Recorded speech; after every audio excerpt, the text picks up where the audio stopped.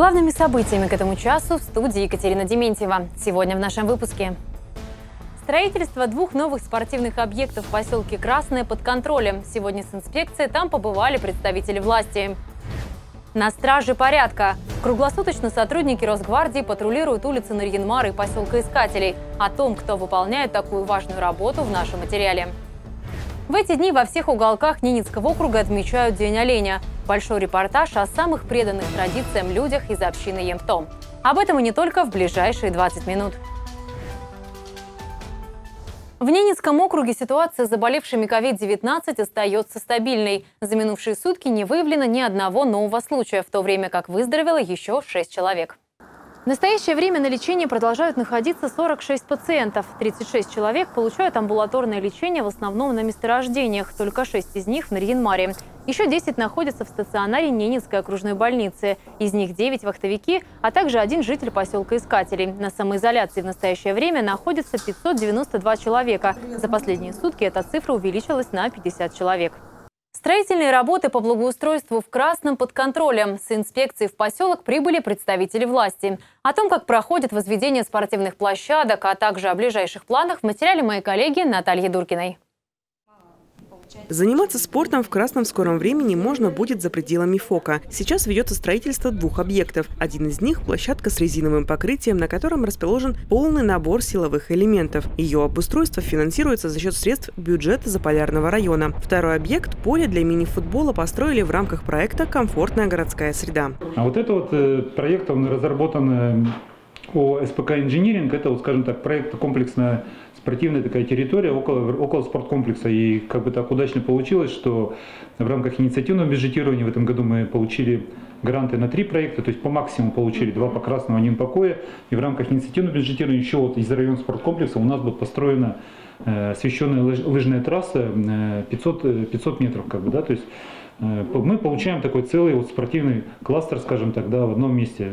Единственная проблема, которую озвучил глава муниципального образования – нехватка кадров в физкультурно-оздоровительном комплексе. Следующий этап очень важный. Мы считаем, мы действительно сделаем техническую составляющую. Мы будут сданы объекты в эксплуатацию.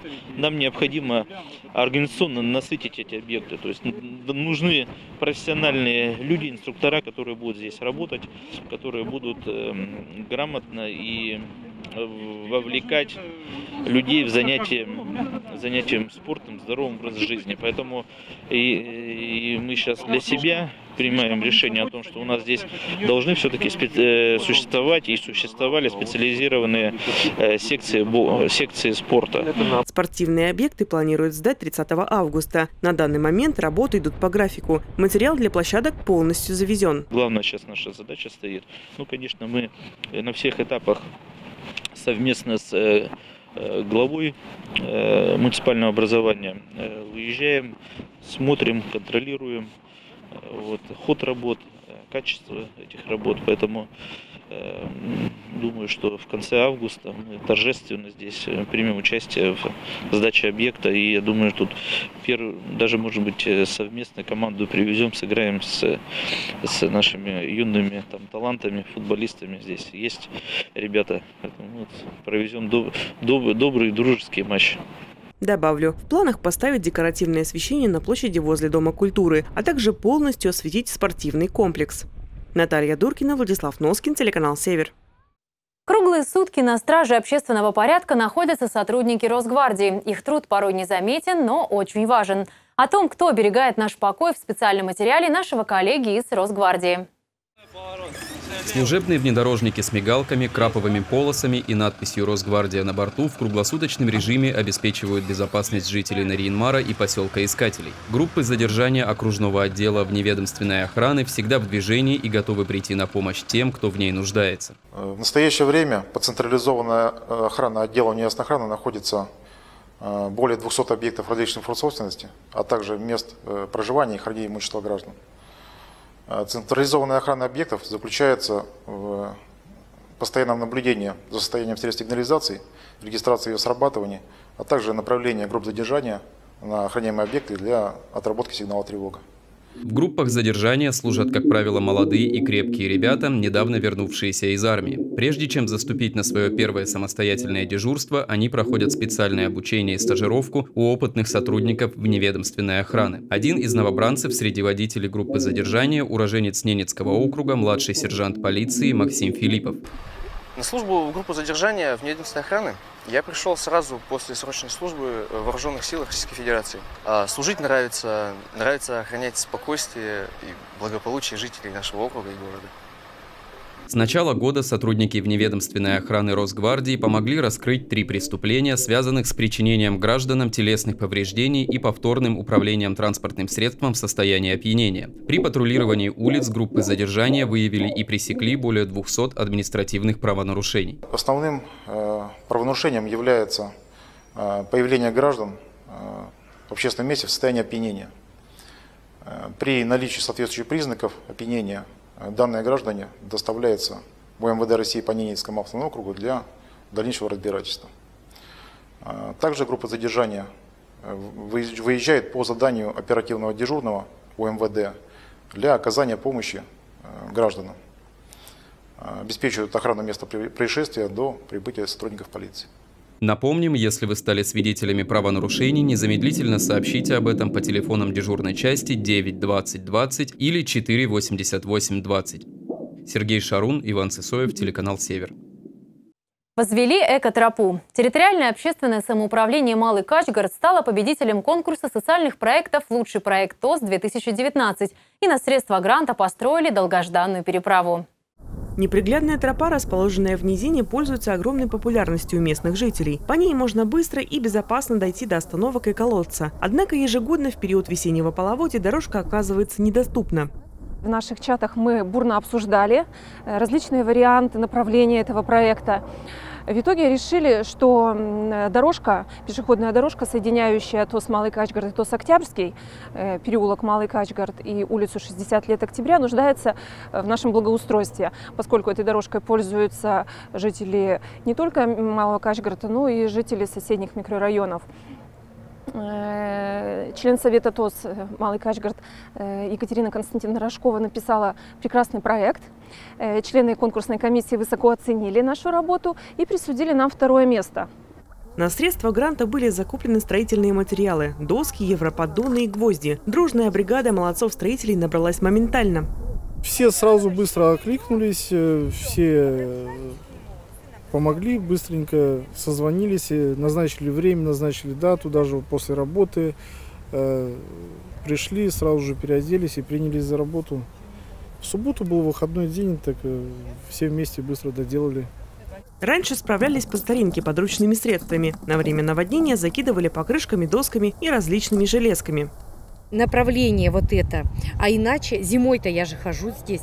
Даже зимой она очень хорошо, потому что проваливаешься, если только не в тропинку попал по снегопаду, то это провалишься. А тут э, нет, это очень хорошо для людей. Многие ведь очень у нас пенсионеры есть и ходят. Это очень даже здорово. Придумали и вообще такой респект нашему э, председателю нашего колхоза вообще. Татьяна Павловна, у нас такого не было. Все время, что зимой, что летом. Да, только что вот здесь вот сырость все время, во время дождей э, плохо ходить было. А сейчас вот мосточки каждый день теперь ходим. Молодцы ребята, хорошо придумали. Очень много народу ходит. Те же пенсионеры с этих кирпичных домов, они все радостные идут сюда, но когда нету вот этого обходимого мостика, то идти неприятно. И с леса идут когда. Да и нам самим тут дети катаются туда-сюда тоже вечно. То упадут, то еще что-нибудь вечно в грязи приходят. А вот сейчас, конечно, наши мужчины, а их такая золотая у нас четверка, это Вокуев Олег, это Широков Василий, это Чуклин Виктор и Одегов э, Олег. Они Сергей, извините, Одегов Сергей, они вот, вот эту мостовую построили. Хотя дел, конечно, у каждого не в проворот, хозяйство, дома, все что-то надо делать. Но какие молодцы. Они же все сделали еще на трубах, чтобы это все не уплыло. Добавлю, организатором конкурса выступила региональная общественная организация «Ресурсный центр некоммерческих организаций Ненецкого округа». Наталья Дуркина, Дмитрий Лукевич, телеканал «Север». Они любят и остаются преданными своему делу и традициям. Кочуют в 30-градусный мороз, пургу дожди и в комариное лето. Растят в тундре детей и не забывают заветов отцов и дедов. Наш следующий материал о смелых, добрых и сильных духом людях, об оленеводах общины Ямпто. В дни празднования одного из главных праздников Ненецкого округа наша съемочная группа отправилась на побережье Карского моря. Репортаж Алины Вылучейской. Обеденный стол прямо посреди тундры. Сырое мясо с кровью для кого-то может показаться дикостью, но для кочевников это одно из любимых и очень полезное блюдо. В оленине содержатся необходимые витамины и микроэлементы. Вот вы его, получается, свежим едите? Свежим? Всяко. Солить можно. Продолжать. Да, да, ну вы прям рассказываете. Но вы каждый день его едите или каким образом? Каждый день, конечно. Без сырое, мяса. Да? Вареный, конечно. Угу. Без мяса мы не жильцы.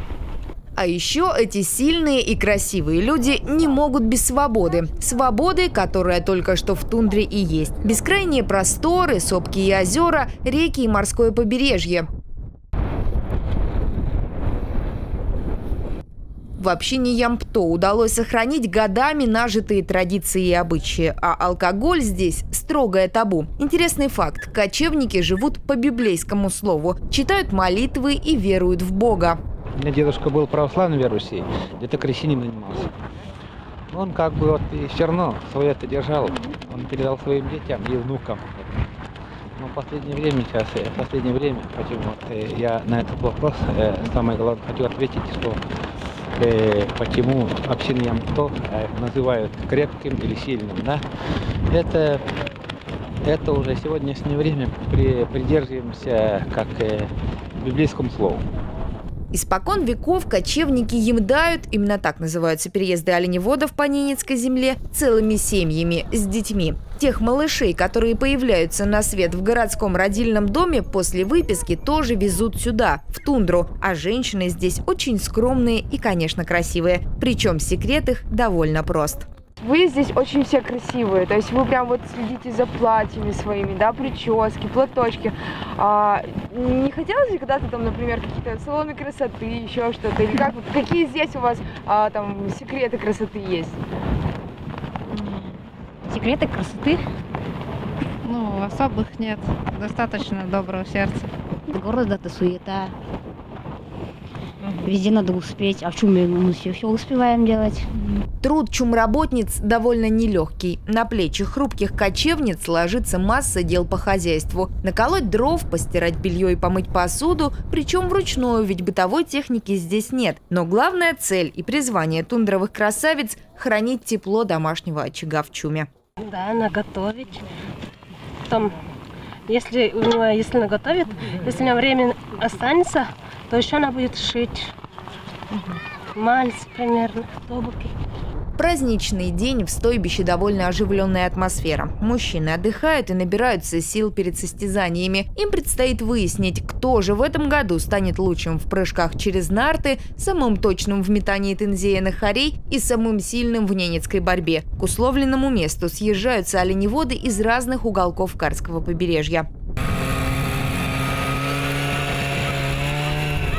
Когда один на один с природой не забалуешь. Кочевники – мастера на все руки. Занимаются и сваркой, и ремонтом техники. Причем прямо посреди тундры. Совсем сломанный был. Эту планку поставили. И потом вот эта планка тоже опять лопнул еще несколько времени. А потом пластмасс поставил сюда. Пластмасс сейчас держит. Тоже, ну так, ездим. Яков Соболев на праздник приехал из соседнего стойбища. Мудрый и добрый мужчина, дедушка 13 внуков, которые, кстати, тоже живут в тундре, сам всю жизнь провел кочуя. В Нарьинмаре не был ни разу. Говорит, в город не тянет. Совсем. Свою жизнь не потеряем, конечно. Так и живем. Оленеводство. Мы как э, городской жизни и тундровой жизни. Это разница. Разница. А у меня дети все хотели в тундре жить. Потом учатся в интернате, картайки учились. Ну, учатся 4-5 классов. Не хотят больше. Не хотят. Потому что отцовские, отцовское учение хотят. Отцовского учения жаждет и Прокопий Вылка. Мальчику всего 13, а он уже ловко управляется с рогатыми красавцами. Сейчас останусь в тундре. Все, в тундре остаешься жить? Ага. А почему? Потому что надо помогать маме и папе. Супер. А расскажи, как ты маме и папе помогаешь? Маме таскаю воду, а папе помогаю э, дрова рубить. Ну, я смотрю, ты уже с оленями умеешь управляться, да? Да. Ага. А что ты с ними делать умеешь? То есть ты собрать уже в упряжку их можешь? Да. А как ты так научился? А, я их знаю. Барагам. Несведущему человеку может показаться, что рогатых животных не отличить друг от друга, но и в оленеводстве масса тонкостей и хитростей. Ближе к ночи в стойбище начинается подготовка к одной из самых ярких и интересных частей праздника – гонкам на оленях упряжках. Сюда, в Кораль, собираются несколько сотен лучших ездовых быков.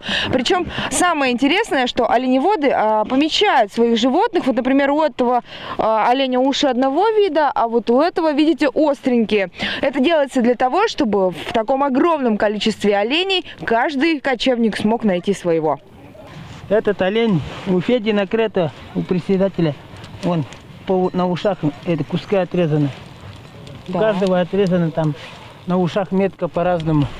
Григорий Тайбарей кочевой образ жизни ведет с рождения. Уже 35 лет мужчина в тундре. Здесь набирался знаний и навыков, необходимых для ведения быта. Сегодня у Григория собственное крестьянское фермерское хозяйство и довольно большое по меркам оленеводов стада. Меня уже не оторвать сейчас уже. Да. Ну вот что здесь такое, вот что-то ведь заставляет вас здесь оставаться? Вот что? Может быть какое-то спокойствие или что? Ну, Я привык к этой жизни, у меня свои олени, свое стадо, своя семья.